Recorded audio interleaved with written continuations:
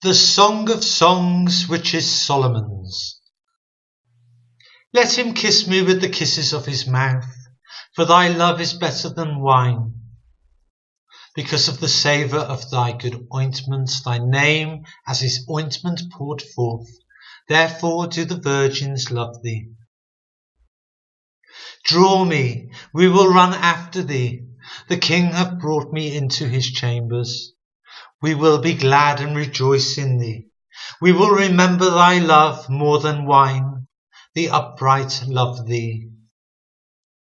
I am black but comely.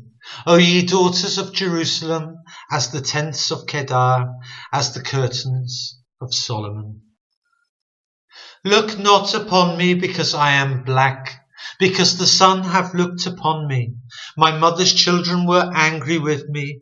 They made me the keeper of the vineyards, but mine own vineyard have I not kept.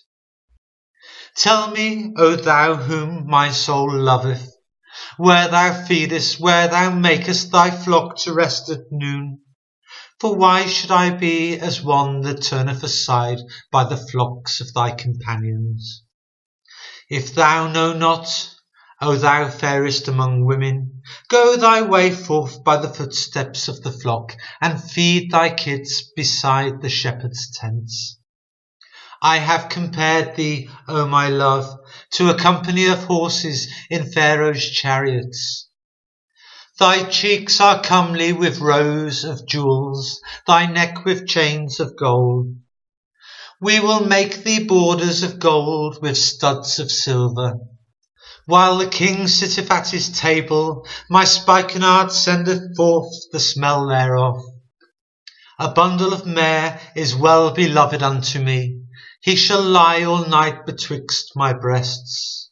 My beloved is unto me as a cluster of camphire in the vineyards of Engedi. Behold, thou art fair, my love, behold, thou art fair, thou hast dove's eyes. Behold, thou art fair, my beloved, yea, pleasant. Also our bed is green.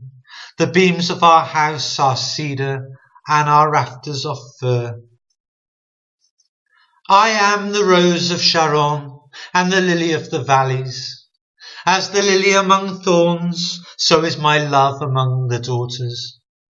As the apple tree among the trees of the wood, so is my beloved among the sons. I sat down under his shadow with great delight, and his fruits were sweet to my taste. He brought me to the banqueting house, and his banner over me was love. Stay me with flagons, comfort me with apples, for I am sick of love. His left hand is under my head, and his right hand doth embrace me. I charge you, O ye daughters of Jerusalem, by the roes and by the hinds of the field, that ye stir not up, nor awake my love till he please. The voice of my beloved, behold, he cometh leaping upon the mountains, skipping upon the hills. My beloved is like a roe or a young hart. Behold, he standeth behind our wall. He looketh forth at the windows, showing himself through the lattice.